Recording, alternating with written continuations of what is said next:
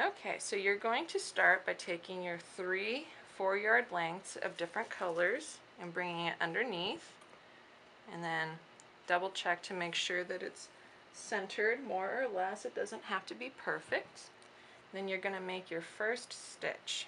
So keeping your threads on either side, you're going to take your left end, bring it across and underneath the right, like so. And then you're going to take your right grouping and bring it underneath and through. So I'm going underneath the leather and through the queue that you just made and bringing it through and then pulling it tight. And you're going to do the same direction each time. So again, I have my two groupings on either side. You bring your left across the leather and underneath your right hand grouping.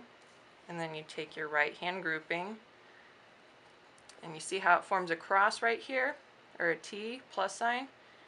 You're going to bring it through the plus sign and out the loop and then pull it taut make sure that you don't have any looping out because that will affect the way your ladder forms and it might move up and down a little bit as you start but the farther down you go it'll get locked in place and it'll stop moving around.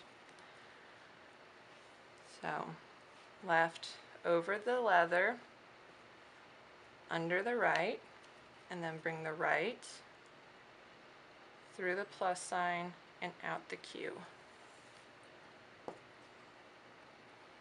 Tight. And since you're using three, do just stop and take the time to tighten all of your threads, otherwise it will be lumpy. And you can see it's already starting to spiral.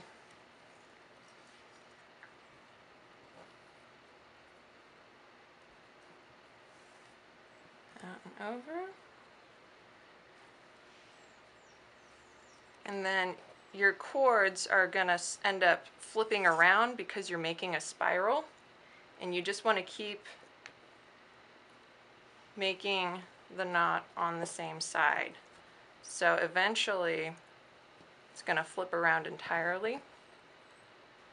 So right here you can see that the twist is just bringing these cords around the other side. So you just want to go with it. Accommodate for your spiral and keep going on the same side. Don't switch sides, otherwise you're going to reverse your spiral and it will look funny. And so, oops. When in doubt, always reverse. It's easier to undo it on the spot than to realize that you've made a mistake when you're four stitches down.